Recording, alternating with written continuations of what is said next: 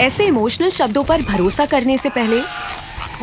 pause करो और सोचो कि कहीं ये शब्द आपके इमोशन से खेल तो नहीं रहे